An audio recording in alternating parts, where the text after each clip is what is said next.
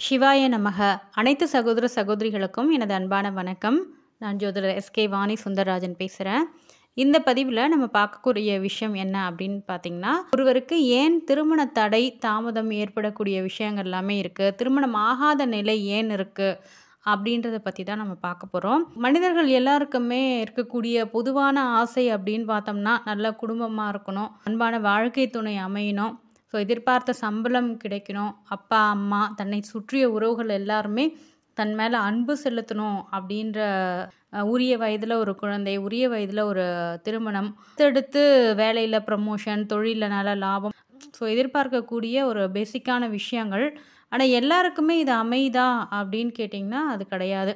எல்லாருக்குமே தான் எதிர்பார்க்கக்கூடிய விஷயங்கள் அப்படின்றது அமையறதில்ல. அதுவும் முக்கியமாக பார்த்திங்கன்னா இந்த திருமணம் சார்ந்த விஷயங்கள்ல ஆண்களுக்காக இருந்தாலும் சரி பெண்களுக்காக இருந்தாலும் சரி நிறைய தடங்கள் தாமதம் ஏன் ஏற்படுது? இதில் பார்த்தீங்கன்னா முப்பது முப்பத்தி ஐந்து வயதிற்கு மேலே திருமணம் நடக்கிறது. திருமணம் முடிவாகி கல்யாணம் வரைக்கும் போயிட்டு கல்யாண மேடையில் நிற்கிறது இன்னும் சில இடத்துல பார்த்தீங்கன்னா தாலியெல்லாம் கூட வாங்கிடுவாங்க பத்திரிக்கையை அடைச்சிருவாங்க. அதுக்கு பின்னாடி அந்த திருமணம் நிற்கிறது. திருமணமே நடந்தாலும் கணவன் மனைவிக்குள்ளே ஒரு சரியான புரிதல் இல்லாமல் ஒன்று அவங்க ஒரே வீட்டில் அப்படியே வாழ்வாங்க. இல்லைன்னா டிவோர்ஸும் ஆகாமல் பிரிஞ்சு வாழக்கூடிய ஒரு விஷயங்கள் இது எல்லாமே இருக்குது இதெல்லாம் ஏன் ஏற்படுது அப்படின்றத பற்றி தான் நம்ம இந்த பதிவில் பார்க்க போகிறோம் முக்கியமாக பார்த்திங்கன்னா பெண்களை எடுத்துக்கிட்டோம் அப்படின்னா பெண்களுக்கு களத்திரக்காரகன் அப்படின்றவர் செவ்வாய். ஆண்களை எடுத்துக்கிட்டோம்னா ஆண்களுக்கு களத்திரக்காரகன் அப்படின்றவர் சுக்கிரன். அதே மாதிரி பெண்களுக்கு செவ்வாயாக இருக்கட்டும் குருவாக இருக்கட்டும் தன் கணவனை பற்றி குறிப்பிடக்கூடிய கிரகங்கள் அதாவது கள்ளத்திரக்காரகன் அப்படின்னு சொல்லுவோம் ஸோ இது இல்லாமல் ஒவ்வொருவருடைய ஜாதகத்திலுமே அது ஆணாக இருந்தாலும் சரி பெண்ணாக இருந்தாலும் சரி ஸோ இரண்டாம் இடம் நல்லா இருக்கணும் அதே மாதிரி ஏழாம் இடம் நல்லா இருக்கணும். இரண்டாம் இடம் என்னும் தன குடும்ப வாக்குஸ்தானமும் ஏழாம் இடம் என்று சொல்லக்கூடிய அந்த கலத்திரஸ்தானமுமே நல்லா இருக்கணும். அந்த இரண்டாம் அதிபதியும் அந்த ஏழாம் அதிபதியும் நல்லா இருக்கணும். குரு பார்வையில் இருக்கணும். சுபத்தன்மையாக இருக்கணும். நல்ல நிலையில் இருக்கணும். ஸோ இப்படியெல்லாம் இருக்கிறப்ப உரிய வயதில் திருமணம் அப்படின்றது ஆயிடும். இதெல்லாம் இல்லாதப்ப தான் உங்களுக்கு அந்த பிரச்சனைக்குரிய விஷயங்கள் அப்படின்றது. இந்த இரண்டாம் பாவம் என்று சொல்லக்கூடிய குடும்பஸ்தானமும் ஏழாம் இடம் என்று சொல்லக்கூடிய இந்த களத்திரஸ்தானமும் பாவ கிரகங்களால் பாதிக்கப்படுறது. இந்த இரண்டு இடங்களும் பாவ கிரகங்களோட தொடர்பு பெற்றுச்சு அப்படின்னாலே ஒன்று அவங்களுக்கு லேட்டாக திருமணமாகும் இல்லை திருமணம் ஆகாது. இல்லை அப்படியே திருமணம் ஆனாலும் பிரிந்து வாழக்கூடிய விஷயங்கள் ஒன்றுக்கு மேற்பட்ட திருமணங்கள் இந்த மாதிரியெல்லாம் கொண்டு போய் விட்டுரும். முக்கியமாக இந்த திருமண தடை தாமதத்தை தரும் கிரகங்கள் அப்படின்னு பார்த்தோம்னா ஸோ இயற்கை பாவர்களான சனி பகவான் ராகு கேது. ஸோ இந்த கிரகங்கள் உங்களுடைய லக்னம் அல்லது ராசிக்கு மெயினாக பார்த்தீங்கன்னா உங்கள் லக்னம். லக்னம் அல்லது ராசிக்கு இரண்டு ஏழு எட்டாம் இடத்தை தொடர்பு கொள்ளக்கூடாது. ஸோ இந்த இரண்டாம் இடம் குடும்பஸ்தானம் ஏழாம் இடம் கலத்திரஸ்தானம் எட்டாம் இடம் என்பது அந்த தாம்பத்திய சுகத்தை பற்றி சொல்லக்கூடிய ஒரு இடம்.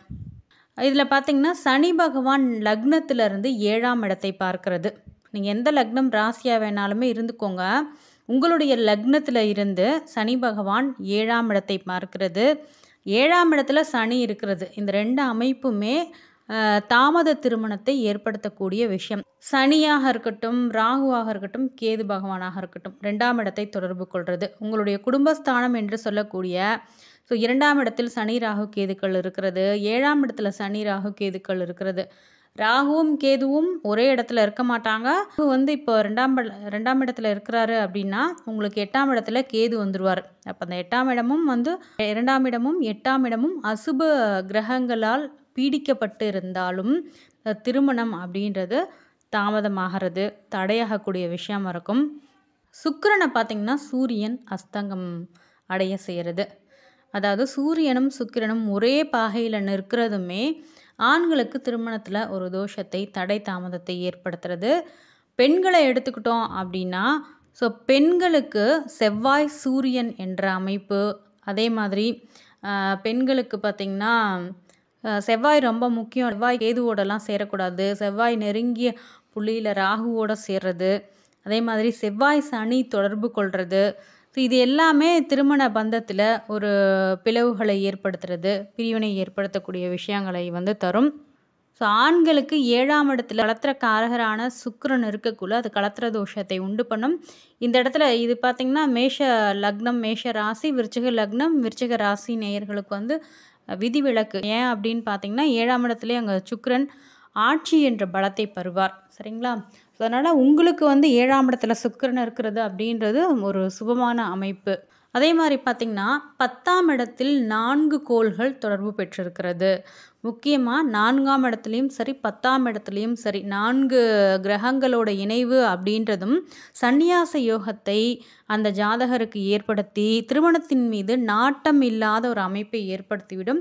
ஸோ இது அந்தந்த கிரகங்களுடைய தசாபுக்தி காலங்கள் அப்படின்றது உங்களுக்கு வெளிப்படுத்திவிடும். இப்போ இப்போ பத்தாம் இடத்துல நான்கு கிரகங்கள் இருக்கிறாங்க அதில் ஒரு கிரகத்தோட தசா நடக்குது அப்படின்னா திருமணத்திற்கு உண்டான ஒரு விஷயங்கள் எல்லாமே ஏற்படுத்திவிட்டு அதற்கு பின்னாடி திருமணம் இல்லாத நிலையையும் இந்த நான்கு கிரகங்களின் இணைவு அப்படின்றது உருவாக்கிவிடும். ஸோ இவங்க தான் குடும்பத்தின் மேலே ஒரு பற்று இல்லாமல் பிடிப்பு இல்லாமல் சந்நியாச யோகம் போகிறது தனியாக வாழ்ந்து கொள்ளக்கூடிய ஒரு விஷயங்கள்லாம் இந்த மாதிரி கிரக அமைப்புகள் கொண்ட நபர்கள்கிட்ட தான் இருக்கும். ஸோ மேஷ லக்னமாக மேஷ ராசியாக நீங்கள் இருக்கிறீங்க அப்படின்னா ஸோ உங்களுக்கு சுக்கரன் அப்படின்றவர் ரொம்ப ரொம்ப முக்கியம். ஏன்னா இதில் ஆண்களாக இருக்கின்ற பட்சத்தில் களத்திர காரகனாகவும் வந்து விடுவார். களத்திர ஸ்தான அதிபதி குடும்ப ஸ்தான அதிபதி எல்லாமே இந்த சுக்கரன் தான். அப்போது மேஷ லக்னத்தில் பிறந்து சுக்கரன் அப்படின்றவர் உங்களுக்கு வக்ரம் அடையக்கூடாது. சுக்கரன் நீச்சம் அடையக்கூடாது. ஸோ அந்த இரண்டாம் பாவமான குடும்பஸ்தானத்தில் ரிஷப வீட்டில் ராகுவோ சனியோ சஞ்சாரம் செய்யக்கூடாது. கேது அந்த இரண்டாம் பாவத்தில் இருக்கக்கூடாது. சூரியனுடன் இந்த சுக்கிரன் அஸ்தங்கம் அடையக்கூடாது. அதே மாதிரி உங்களுடைய லக்னத்துக்கோ ராசிக்கோ நான்காம் இடம் அப்படின்றது கடக வீடு. இந்த கடக வீட்டில் நாலு கிரக சேர்க்கை இருக்கிறது. அதே மாதிரி பார்த்திங்கன்னா அதற்கு ஆப்போசிட்டாக மகர வீட்டில் நான்கு கிரக சேர்க்கை இருக்கிறது. இது எல்லாமே பார்த்திங்கன்னா திருமண வாழ்க்கையில் ஒரு பிடிப்பற்ற நிலையை உங்களுக்கு ஏற்படுத்திவிடும். சுக்கிரன் கேது இணைவு அதே மாதிரி பெண்களாக இருக்கின்ற பட்சத்தில் உங்களுக்கு செவ்வாயுடன் இந்த கேது இணைந்தாலோ சனி இணைந்தாலோ இல்லை ராகு இணைந்தாலோ திருமண வாழ்க்கையில் கொஞ்சம் பிரச்சனையை ஏற்படுத்திவிடும். அதாவது ஒன்று இரண்டு ஏழு எட்டு இந்த இடங்களை சனி பகவான் தொடர்பு கொள்வதுமே உங்களுக்கு திருமண தாமதத்தை ஏற்படுத்தும். ஸோ ரிஷப ராசி நேயர்களை எடுத்துக்கிட்டோம் அப்படின்னா ஸோ ரிஷபம் லக்னமாக இருந்துக்கோங்க. இல்லை நீங்கள் ராசியாக கூட இருந்துக்கோங்க. ஸோ உங்களுக்கு இரண்டாம் வீடு அப்படின்றது கன்னி வீடு ஏழாம் வீடு அப்படின்றது செவ்வாயினுடைய வீடு விருச்சக வீடு. அப்போது புதனும் செவ்வாயும் உங்களுடைய ஜாதகத்தில் வக்ரம் அடையாமல் கெட்டு போகாமல் இருக்கணும்.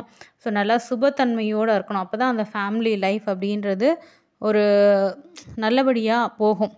செவ்வாய் வக்ரம் ஆகிறது இல்லை புதன் வக்ரம் ஆகிறது ஆண்களாக இருக்கக்குள்ள சுக்கிரன் வக்ரம் ஆகிறது நீச்சம் அடைகிறது இதெல்லாம் இருக்கக்கூடாது. ஸோ பெண்ணாக இருக்கக்குள்ள செவ்வாய் கெட்டு போகக்கூடாது மெயினாக ஏன்னா ஏழாம் கலத்திர காரகனும் கலத்திராதிபதியுமே செவ்வாய் ஆகி விடுவார் பெண்களுக்கு. அதனால் ரிஷப ராசி ரிஷப லக்னத்தில் நீங்கள் பிறக்கக்குள்ள கண்டிப்பாக செவ்வாய் அப்படின்றவர் உங்களுக்கு நல்லா இருந்தால் பெண்களுக்கு நல்லா இருந்தால் மட்டும்தான் ஒரு நல்ல ஒரு திருமண வாழ்க்கை அமையும். இதெல்லாம் திருமண தடை தாமதத்திற்கான அமைப்பு. ராகு கேதுக்களுடைய சம்பந்தம் இருக்கக்கூடாது. சனியினுடைய சம்பந்தம் இருக்கக்கூடாது. ஏழாம் பாவத்திலையும் அதே தான் சனி பகவானுடைய சம்பந்தம் இருக்கக்கூடாது. சனி பகவான் ஒன்று இரண்டு ஏழு எட்டில் இருக்கிறது தட தாமதமான ஒரு திருமணத்தை உருவாக்குறது.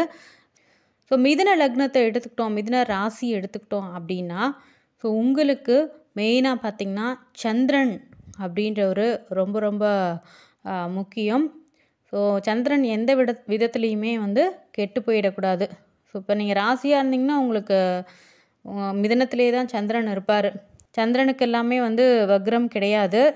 ஸோ கெட்டு போகிறாரு அப்படின்னா பாவ கிரகங்களுடைய தொடர்பு வேணால் இவருக்கு ஏற்படுறது பிரச்சனையாக இருக்கிற பிரச்சனையாக இருக்கும். அதே மாதிரி குருவும் நல்லா இருக்கணும். மிதுன ராசி லக்னத்தவர்களுக்கு. குரு வந்து பாதகாதிபதியாக இருந்தாலும் உங்களுக்கு ஏழாம் அதிபதியாக வரதுனால குரு நீச்சம் அடையிறது கூட மிதுன ராசி நேயர்களுக்கு அந்த திருமண வாழ்க்கையில் பாதிப்பை ஏற்படுத்தும். அதே மாதிரி குரு எடுத்துக்கிட்டோம் அப்படின்னா ஏழாம் இடத்துல ஆட்சி பலம் பெறக்கூடாது. அந்த இடத்துல கேந்திராதிபத்திய தோஷம் ஏற்பட்டும் பிரியக்கூடிய ஒரு விஷயம் இருக்கும். சப்போஸ் சனி ஒன்று இரண்டு ஏழு எட்டில் இருக்கிறது சூரியன் ஒன்று இரண்டு ஏழு எட்டில் இருக்கிறது செவ்வாய் ஒன்று இரண்டு ஏழு எட்டில் இருக்கிறது ராகு கேதுக்கள் அந்த இடத்துல இருக்கிறது. ஸோ அதை நீங்கள் பார்த்துக்கோங்க. அடுத்தது பார்த்தீங்கன்னா கடக லக்னம் கடக ராசி நேயர்களுக்கு சூரியனும் சனியும் ரொம்ப முக்கியம். அடுத்து சிம்ம லக்னத்தை எடுத்துக்கிட்டோம்னா ஸோ புதனும் குருவும் நல்லா இருக்கணும். அடுத்து பார்த்தீங்கன்னா சிம்ம லக்னத்தை எடுத்துக்கிட்டோம் அப்படின்னா சனியும் புதனும் சுபத்தன்மை பெற்று இருக்க வேண்டும். கன்னி லக்னத்தை எடுத்துக்கிட்டோம் அப்படின்னா ஸோ இரண்டாம் அதிபதியான சுக்கிரனும் ஏழாம் அதிபதியான குருவும் நன்றாக இருக்க வேண்டும். அடுத்தது பார்த்திங்கன்னா துலாம் லக்னத்தை எடுத்துக்கிட்டோம் அப்படின்னா ஸோ துலாம் லக்னத்திற்கு இரண்டிற்கு அதிபதியான செவ்வாயும் ஏழாம் இடத்து அதிபதியான செவ்வாய். துலாமுக்கும் பார்த்திங்கன்னா செவ்வாய் ரொம்ப ரொம்ப முக்கியம். பெண்களாக இருக்கின்ற பட்சத்தில் துலாம் ராசி பெண்களுக்கு செவ்வாய் கெடவே கூடாது. ஏன்னா களத்திர ஸ்தான அதிபதியும் இவரே வந்துடுவார் களத்திர காரகனும் இவரே வந்துடுவார் ஒருவேளை துலாம் ராசி துலாம் லக்னத்தில் பிறந்தவர்களுக்கு இந்த செவ்வாய் ரொம்ப மோசமாயிடுச்சு அப்படின்னாலே திருமண வாழ்க்கையை பிரித்து விடக்கூடிய ஒரு விஷயம் அப்படின்றது இருக்குது அடுத்தது பார்த்திங்கன்னா விருச்சிகம். விருச்சிகம் ராசி லக்னத்தை சேர்ந்தவர்களுக்கு இரண்டாம் இடத்தின் அதிபதியான குரு பகவானும் ஏழாம் இடத்தின் அதிபதியான சுக்கரனும் ரொம்ப முக்கியம். ஸோ இது கெட்டிருந்தது அப்படின்னா திருமண தாமதம் அப்படின்றது இருக்கும் தடை அப்படின்றது இருக்கும். தனுசுவை எடுத்துக்கிட்டோம் அப்படின்னா தனுசு லக்னம் ராசியில் பிறந்தவர்களுக்கு சனி பகவானும் புதனும் ரொம்ப ரொம்ப முக்கியம். ஸோ அவர்கள் கெடக்கூடாது. இந்த இரண்டாம் வீடும் கெடக்கூடாது. அடுத்து பார்த்திங்கன்னா மகரத்தில் பிறந்தவர்களுக்கு சனி பகவானும் சந்திரனும் ரொம்ப முக்கியம். ஸோ இந்த இரண்டு கிரகங்களும் கெட்டுவிடக்கூடாது. அடுத்தது பார்த்திங்கன்னா கும்பத்தில் பிறந்தவர்களுக்கு குருவும் சூரியனும் ரொம்ப முக்கியம். அடுத்து பார்த்திங்கன்னா மீனத்தில் பிறந்தவர்களுக்கு செவ்வாயும் புதனும் ரொம்ப முக்கியம். ஸோ இவர் இந்த கிரகங்கள் எல்லாமே நல்லா இருந்தால் மட்டும்தான் இந்த ரெண்டு நாலு ஏழு எட்டு ஒன்றாம் இடம். பத்து. இது எல்லாமே நல்லா இருக்கக்குள்ள மட்டும்தான் உங்களுக்கு திருமணம் அப்படின்றது உரிய நேரத்தில். ஸோ உரிய நேரத்தில் அமைந்து நல்ல தசாபுக்தி நடைபெற்று அதே மாதிரி நல்ல சுபத்தன்மை வாய்ந்திருக்கக்குள்ள ரொம்ப திருமண வாழ்க்கை அப்படின்றது மகிழ்ச்சிகரமாக இருக்கும். மற்றபடி இந்த பாவகிரகங்களோட தொடர்பு ஏற்பட்டால் திருமணத்தில் ஒரு தடையை உருவாக்குறது தாமதத்தை உருவாக்குறது இல்லை பிரிவினை ஏற்படுத்துறது மாதிரியான ஒரு விஷயங்கள் அப்படின்றதற்கும் அனைவருக்கும் நன்றி.